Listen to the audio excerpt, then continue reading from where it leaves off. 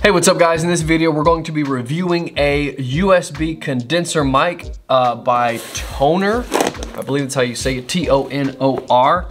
Um, now, uh, full disclosure, this company did send me this microphone for free, although they're not paying me other than, I guess, the cost of what this microphone is um, to review it. So I'm gonna give you my honest opinion. So a couple things really quick. Um, I've got a link to this in the description below if you wanna check it out, but this is the Tonor USB microphone kit Q9 condenser computer cardioid mic for podcast, game, YouTube video, stream, recording, music, voice over. So that is the description on Amazon. Uh, and uh, so let's open it up and see what is in the box and we'll dive into it. I haven't opened this yet, so you guys are doing this along with me. Oh, no knife needed. All right, so I've got a instruction manual of some kind. It comes with cool. It comes with a like a pop filter, so that's cool. Um, we've got the actual microphone here. So um, actually a pretty sturdy mic, metal housing. Um, actually looks really good, just very clean.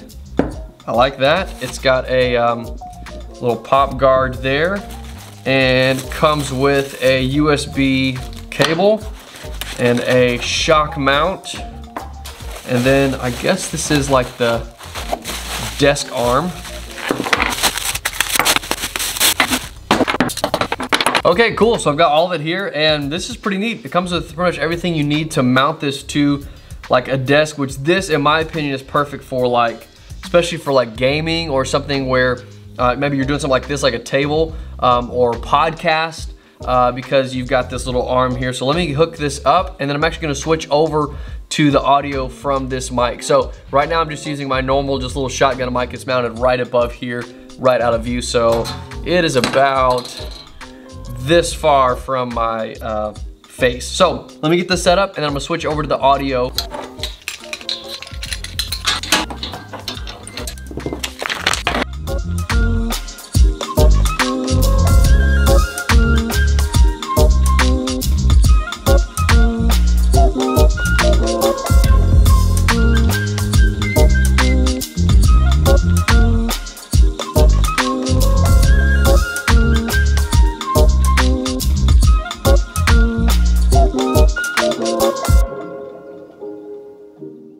All right, I've got it all set up. I'm actually still on the other audio here because I have to get a USB-C adapter for my computer. Okay guys, now we are on the Q9 audio. So, a um, couple of things. This is a pop filter and this is a, I don't know, microphone sock, wind sock. I'm not exactly sure what the official title for this is, but um, I'll show you what this guards against if you're not aware. A pop filter catches like the pops and enunciation and breath noises. So for instance, if I said, you're going to hear it's really bad. If I said, I'm going to go get some popcorn, right? That P just boom, just blasted. So you put this in front of here.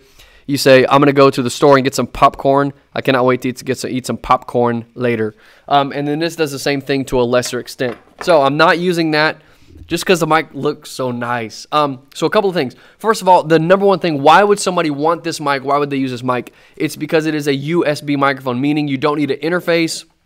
You can just plug this mic right in um, and it just works, period. So I'll attest to that. I had to get a, a USB-C adapter because my computer's USB-C, um, but I plugged the microphone right in, didn't do anything launched the Logic Pro, um, and it immediately pulled it up as an interface, the Q9, so it worked immediately. Um, and I think this is the front of the microphone because the volume button's here, so there's a built-in volume button, so let me check that out.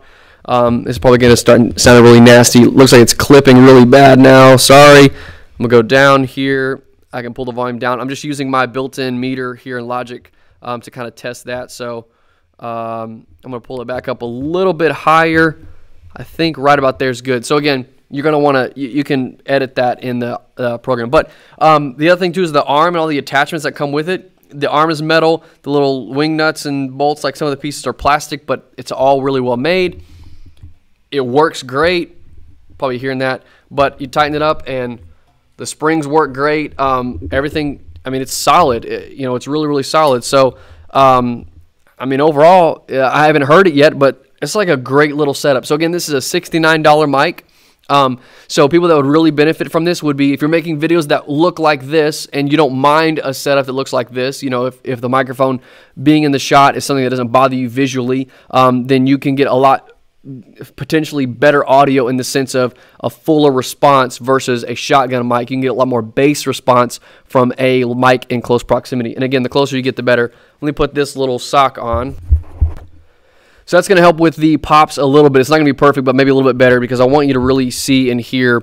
Um, you should be hearing a lot more of the low end of my voice versus when I had the shotgun mic. Um, that's kind of one of the advantages of having a closer proximity. Now, a condenser mic is a lot more sensitive, it picks up more um, you know, uh, sound, and it's a lot more sensitive than like a dynamic mic. So um, let me see if there's anything here in the manual that is really interesting. Again, it has some setup instructions, but is literally so self-explanatory. Uh, you just plug it in, and your uh, audio program figures it out. Button on the front, like a sound button, up and down, plus and minus. Uh, so that's that's pretty much it. And I think that's the strength of this microphone is the simplicity. It's literally a plug and play microphone. So um, just experience just setting it up and using it. I mean, it's great. This is awesome. I will use this microphone in this setup. Um, unless there's something really wrong with the audio.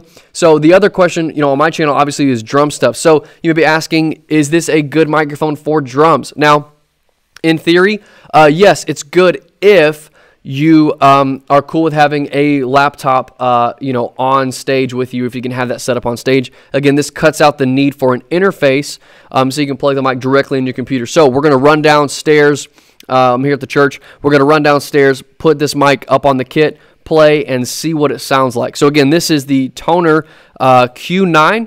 And so far, just kind of the hands-on feel of it is uh, I'm pretty impressed. It feels great, and um, seems like it's going to be pretty easy to use. And we'll see what kind of audio we get out of it um, on the drums. So let's go.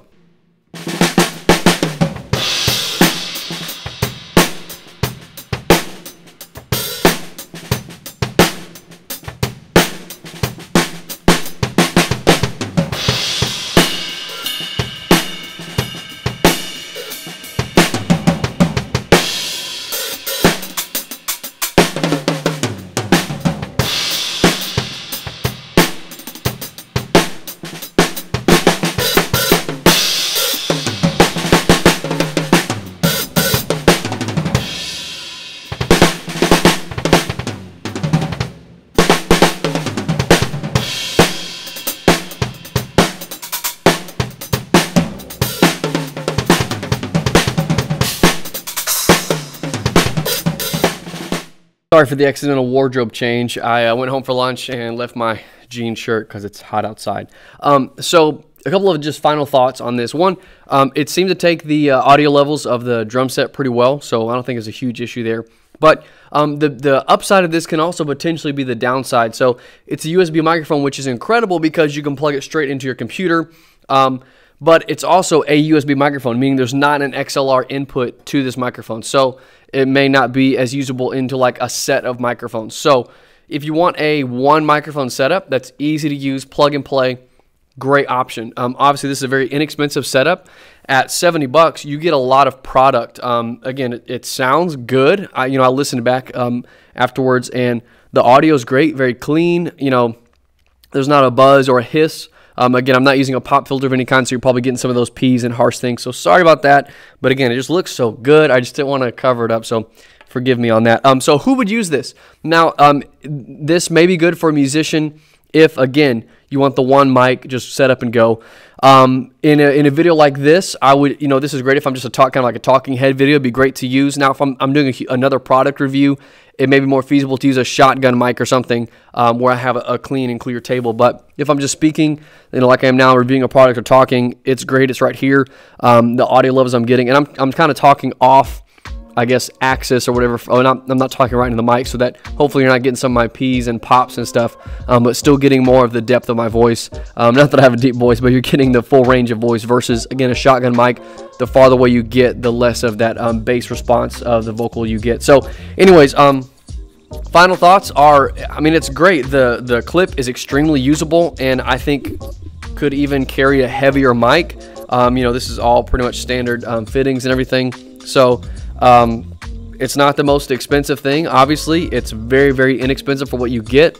um, and I think it could work great. I can't speak to longevity, but right now I think for the price, uh, especially, it's got great value. So again, this is the Tonor Q9. Uh, if you have any questions, hit me up um, in the comments below. I'll answer them if I can about this. But again, I think the power of this and the upside is just the simplicity. It's literally plug and play. If you need more volume, turn it up, turn it down. Um, it's a nice, clean, quiet uh, microphone, and I think it could be really useful if you're doing videos, especially like this. So, um, thanks again, Tonor, for sending me this mic out. I'll probably be using it in the future. You'll probably see this on this channel uh, more in the future, and um, I appreciate you guys watching. Again, you know, if you're if you're trying to do one last thing, if you're trying to do like high end stuff, you're trying to submit things for a studio, um, some people, you know, I use a thousand dollar overhead mic, uh, Shure KSM um, 44.